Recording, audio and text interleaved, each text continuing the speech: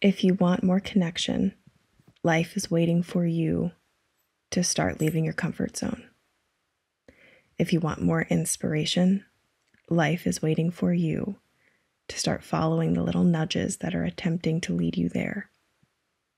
If you want more clarity, life is waiting for you to start giving it more quiet. If you want more energy, life is waiting for you to start making time for more rest. If you want more confidence, life is waiting for you to start seeking the best in yourself.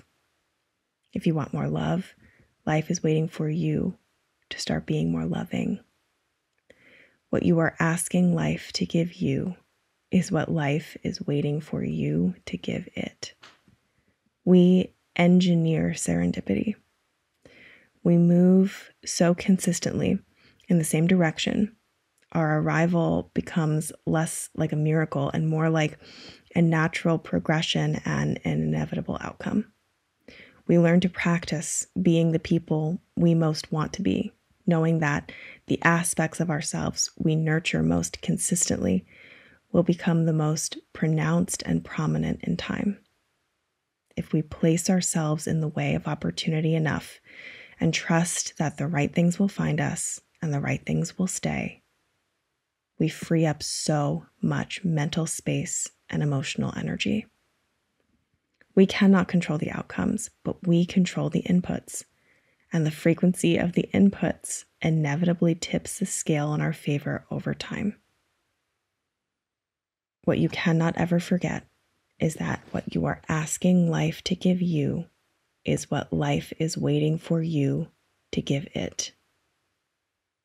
If you want compassion, be more compassionate. If you want to be understood, be more understanding.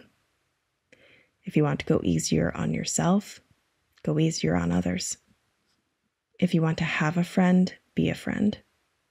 If you want to become a new kind of person, do as you imagine they would do until those behaviors feel more normal and preferable to you than not. If you want to move miles beyond where you are right now, take it one inch at a time.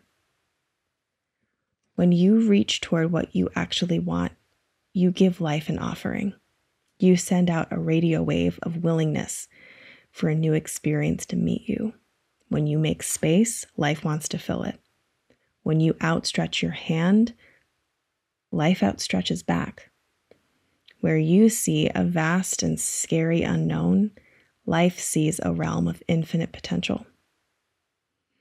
So stay close to the things that inspire you, because those are the things that are attempting to lead you into the self realization of all that you actually are. Listen to life's instructions. If it leaves, let it go. If you feel a nudge, follow it. If it feels true, trust it. If it is calling you and compelling you, and you know overwhelmingly that it is meant to be part of your path and your story, believe it and make it so.